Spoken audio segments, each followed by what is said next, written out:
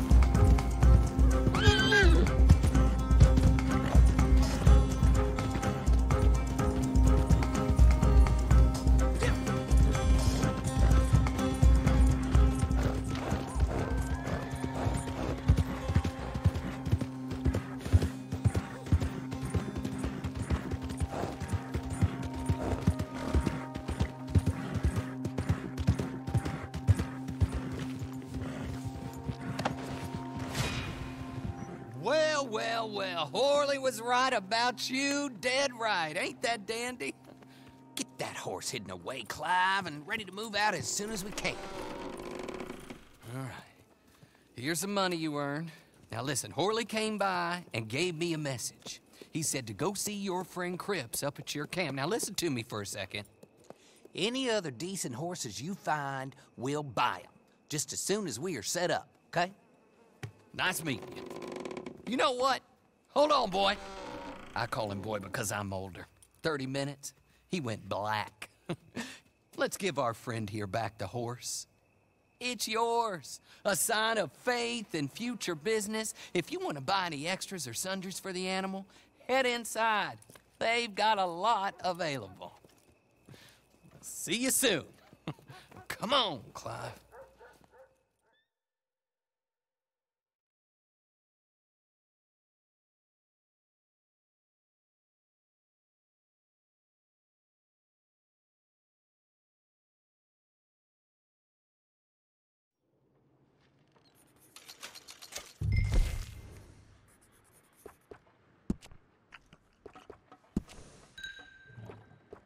Morning, Pard.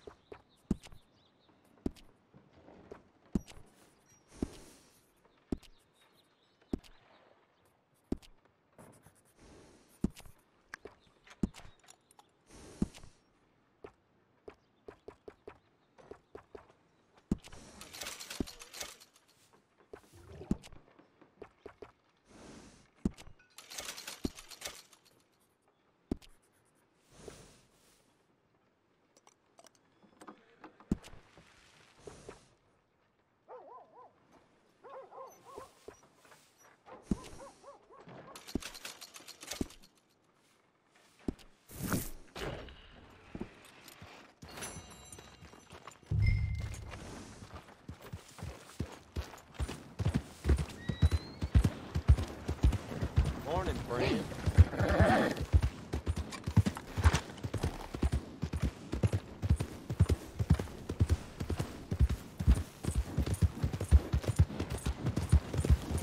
Whoa!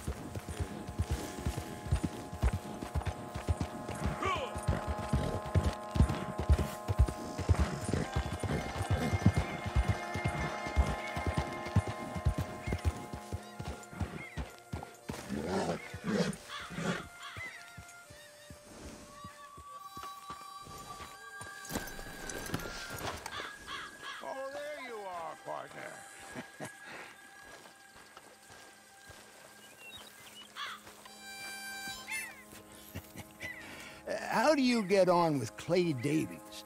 Horrible little wretch, in my opinion. Pop this and pop that. I'd like to pop him, a slime bucket. anyway, I've got everything set up. Well, uh, what we have so far, place is pretty nice. I uh, think you did a good job for you. I'll earn my keep. When you get too old to fight, what choice have you got? It's either work or beg, and I'd rather work. Oh, I saw Horley. Now, he wants you to come down and meet him in Blackwater when you get a chance. I think he might have some work for you. Oh, and uh, uh, while you're out on your travels, you may see some folk with uh, employment opportunities. Good folk, bad folk, looking for a tough guy with a gun to help them. Up to you if you uh, listen to them, I guess. You know, I, I used to like that kind of stuff. Uh, one time, I almost helped a clown steal an elephant. but that's a very silly story. Welcome home. Make yourself at home. It is your home.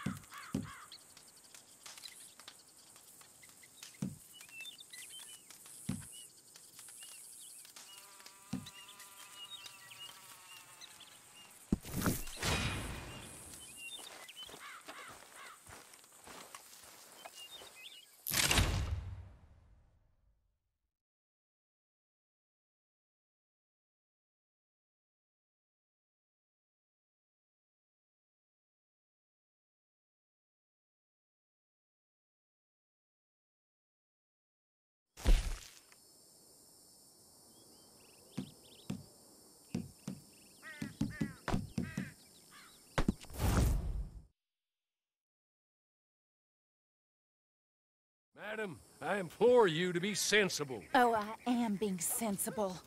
I swore I would kill them, each and every one of them. From the way I see it, I will do. I'm afraid my mind's made up. But Mrs. LeClerk, Teddy Brown, he's just a second-rate, common, no-good horse thief. You kill him and the rest of his boys, well, you'll wind up in jail or worse. And we will never find out who killed your husband. You know it, and I know it. I believe Teddy Brown killed my husband. If he did so, he did it on behalf of his sister, her husband, or Jeremiah Shaw. Perhaps, Besides, but... he's holed up in there, besieged by marshals. Marshals? What good did a marshal ever do anyone? That's why we'll send in our professionals to get the job done, and no one will know you had anything to do with it. It's too early to show your hand, madam. Okay.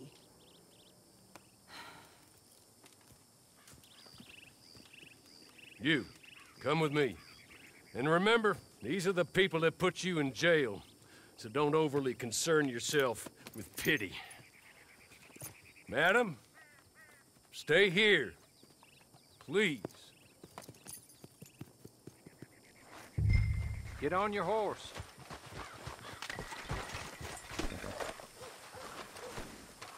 Now I know you're willing to do good and bad as it suits you, and maybe that's everyone's right. And maybe it's the right way to be.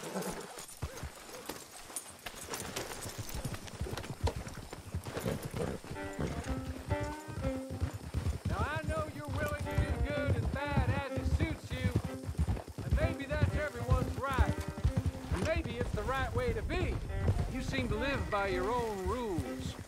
In some ways, I admire that. Although maybe at times you seem a touch confused, confusing. I don't know. But I hope, either way, good, bad, or plain indifferent, after all she has done for you, that you will be loyal to my mistress. Kill Teddy Brown, not out of vengeance or righteousness, but out of duty to her, compassion for her. He thinks he got away with taking my master and taking your freedom.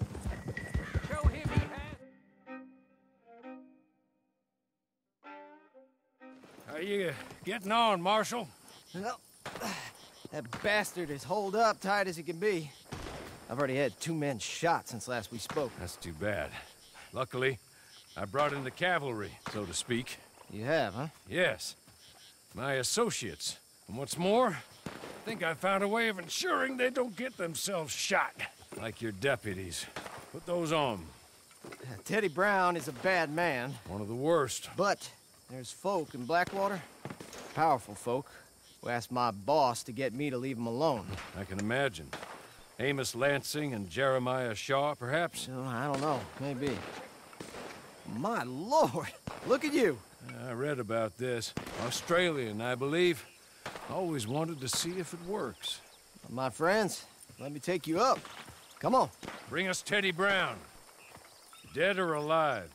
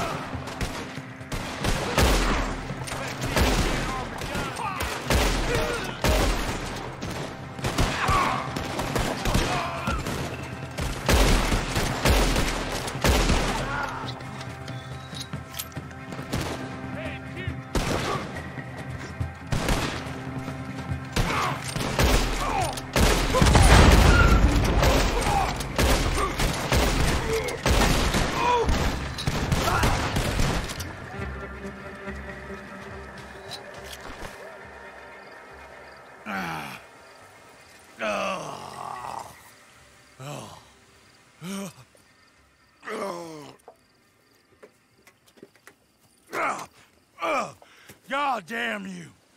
God damn you! No! God damn you, Teddy Brown! Hello, Mrs. LeClerk. Who killed my husband? Who killed my husband? Your husband? That little milksot? Oh, I guess I imagined he was your brother. No woman would ever marry his kind. Oh. I did kill him. I did it. And he was begging for his life. Pathetic, really. Who put you up to it? Who? Lady, that's none of your damn business.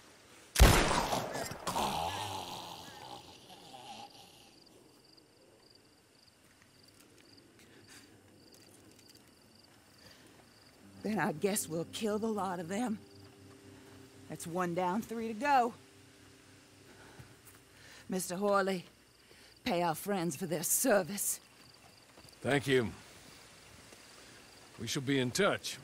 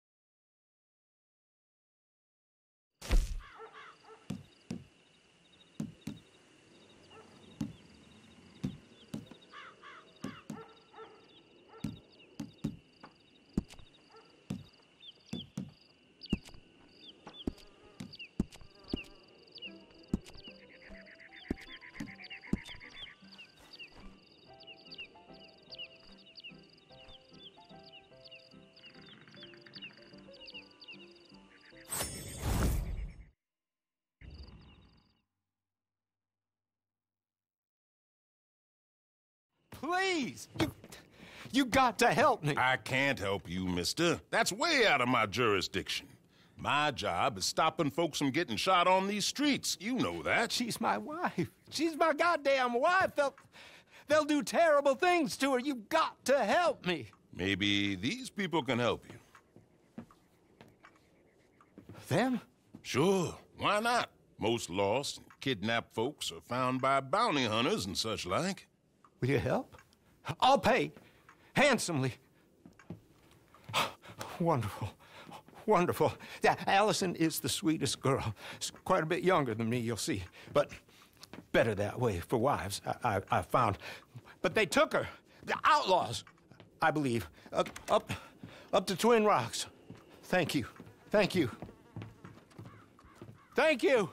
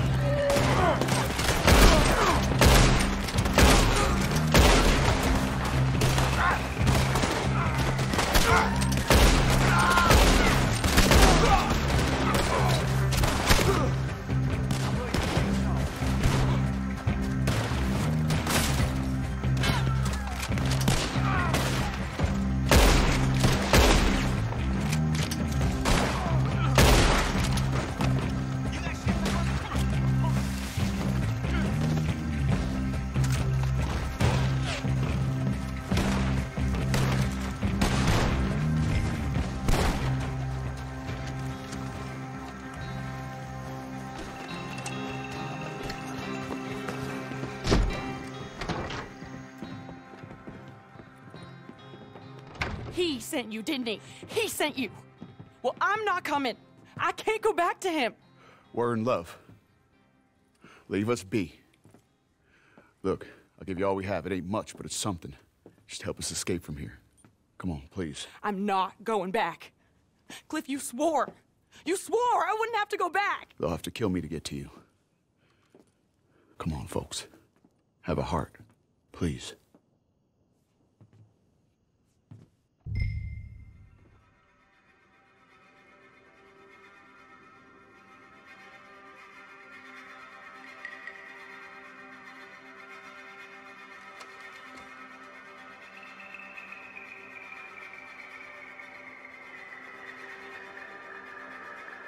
Think they're gonna help us. Oh, thank you. Thank you. Come on. Wagon's outside. Money there, too. He will have sent men to watch you people. They'll know you're trying to help us. Then we best be quick. Here's our wagon. They're getting us out of here. There's room for two more in the back. Or just stay close on your horses.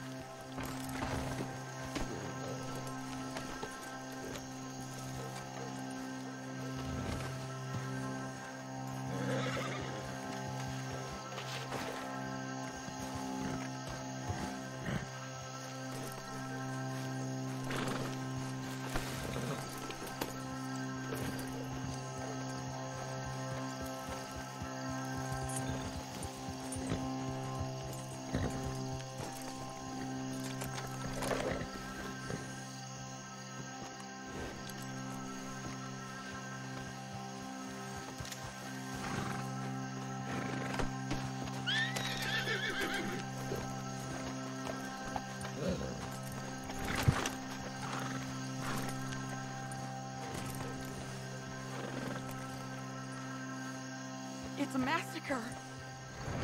They killed them all, Cliff. Close your eyes. It's my fault. I'm sorry. We can't think about that right now. They knew what they was getting into taking on, no doubt. None of us ever thought we was gonna live very long. Hey, all of you, fill your chambers and watch the road. His man will be close and they won't wait long after seeing us. We aren't safe until we're out of this valley. That's my husband. Sending killers after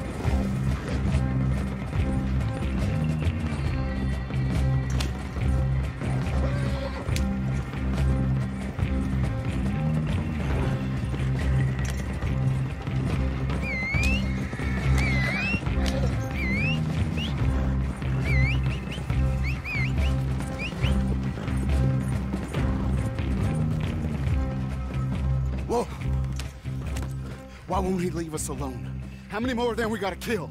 He'll never leave us alone.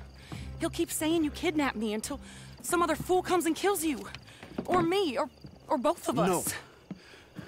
We'll run. Somewhere hot. Mexico. Australia. Here. Take this. Thank you for being a decent human being. Tell him we drowned. Or got hit by a train. Tell him to go hang himself. Tell him whatever you want. Just let us go. Cliff, isn't it all so romantic? Yeah.